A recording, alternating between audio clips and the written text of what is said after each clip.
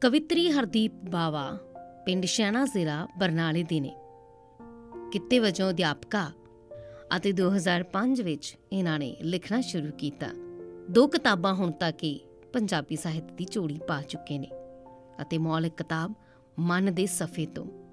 ਸੰਪਾਦਕ ਕਿਤਾਬ ਨ ਨਰ ਨ ਨਾਰੀ ਇਸ ਤੋਂ ਇਲਾਵਾ ਇਹਨਾਂ ਨੂੰ ਕਈ ਮਾਨ ਸਨਮਾਨ ਵੀ ਮਿਲ ਚੁੱਕੇ ਨੇ ਤੇ ਕਈ ਰਸਾਲਿਆਂ ਦੇ ਵਿੱਚ ਇਹਨਾਂ ਦੀਆਂ ਰਚਨਾਵਾਂ ਪ੍ਰਕਾਸ਼ਿਤ ਹੋ ਚੁੱਕੀਆਂ ਨੇ।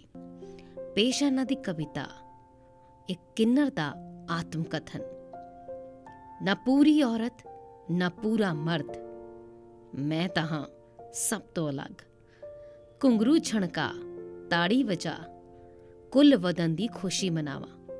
ਪਰ ਆਪਣੇ ਜੰਮਨ ਦਾ ਸੋਗ ਹੰਡਾਵਾ। ਖਾਮੋਸ਼ ਬੁੱਲਾਂ ਦੀ ਪਿਆਸ, ਪੂਰਤੀ ਦੀ ਕਸ਼ਮਕਸ਼, ਪੀੜ ਹਿਜਰ ਦੀ ਡੂੰਗੀ ਖਾਈ। ਜਨਮ ਚੱਕਰ ਦੀ ਗੁੰਝਲਤਾਈ ਦੁੱਖਾਂ ਨਾਲ ਭਰੀ ਆਤਮਾ, ਦੁਆ ਬਦਦੁਆ, ਸ਼ਗਨ ਅਪਸ਼ਗਨ, ਮੌਤ ਦਾ ਜਸ਼ਨ, ਹਾਸਿਆਂ ਨਾਲ ਵਿਦਾਈ। ਇਹੀ ਹੈ ਮੇਰੀ ਤਿਰਸਕਾਰ ਚ ਪਿੱਜੀ, ਸੁਣੀ ਅਨਸੁਣੀ ਜੀਵਨ ਦੀ ਸੱਚਾਈ।